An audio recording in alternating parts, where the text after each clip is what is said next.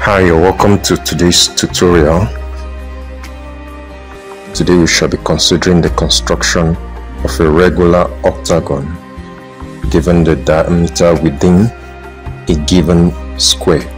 So the first thing is to construct the square. So we draw a horizontal line and mark a point P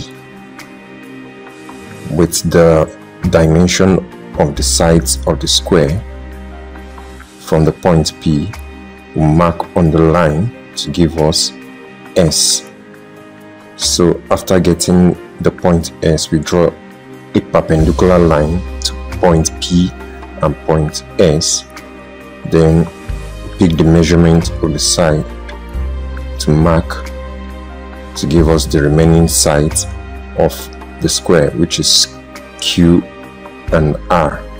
From PR uh, we draw a diagonal and also on QS we draw diagonal. So after drawing this diagonal to meet at the point T. So we label the point T. So from this point T that will be the center of our arc. So with the radius PT and the center at P will describe the arc to touch the two sides of the square. We repeat the same process for Q with the radius QT and the center Q will describe an arc to touch the sides of the square.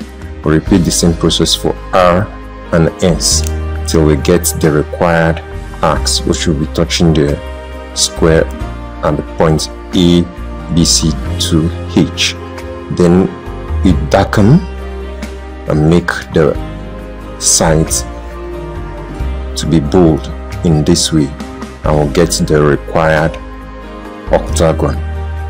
But thank you for watching this video. Ensure to subscribe to this channel for more videos